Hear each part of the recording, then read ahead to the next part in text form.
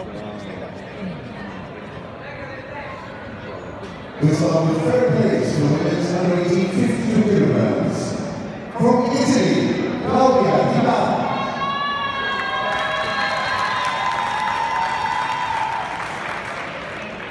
also in third place from Greece, Stefania Kakoro. In second place, also from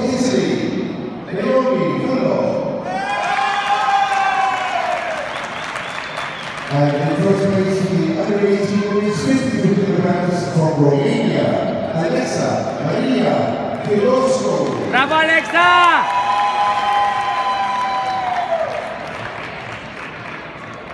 ¡Bravo, Alexa!